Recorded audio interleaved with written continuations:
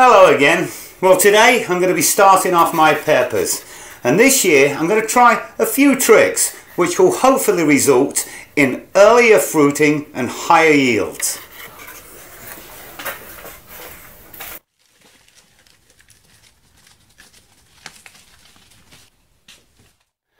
When I grow peppers from seed, they always produce fruit very late in the season.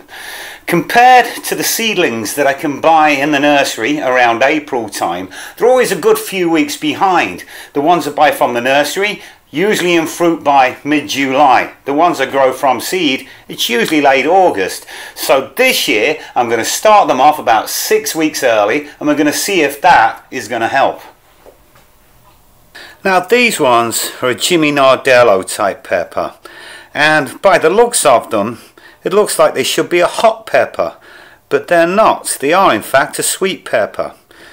I've never grown them before but last year I saw Krista from Krista's garden growing them and I thought I'd give them a bash.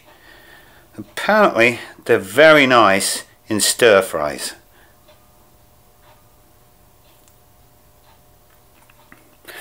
And these ones are mixed coloured sweet bell peppers which are left over from last year. Hopefully the seed is still viable. I'm sowing two seeds per module for good reason. This is one of the tricks that I'm going to be using. Usually if you put two seeds per cell and they both germinate you pinch one back but I'm not necessarily going to do that because there's a theory about twin pepper planting that I want to put to the test. Now the theory suggests that if two seeds in one cell germinate, let them grow together. Let them spend their entire life together. The extra leaves will help with things like sun scald, and even though they may not produce twice as many peppers as one plant, in all probability they will produce more. Now I love an experiment and I'm looking forward to this one. Summertime on the west coast of Canada can be very long and very hot, ideal for growing peppers. Last year I noted that the seedlings that I bought from the nursery were a decent size by June when I planted them out. By comparison, the ones that I'd started in mid-February from seed were very small when I planted them out in June.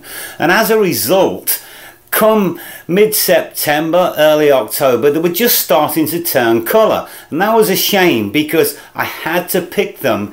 The autumn winds and rains had set in and they weren't quite as sweet as I wish they had have been. And so, by starting them early this year, hopefully it'll give them a good head start.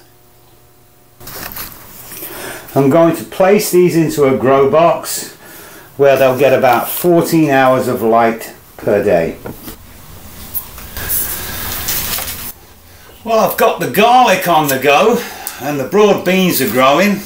I've started the onions and now I've started the peppers. So next time weather permitting, I think we'll do a full update of the year so far. Right now though, I think it's time for a beer. Cheers.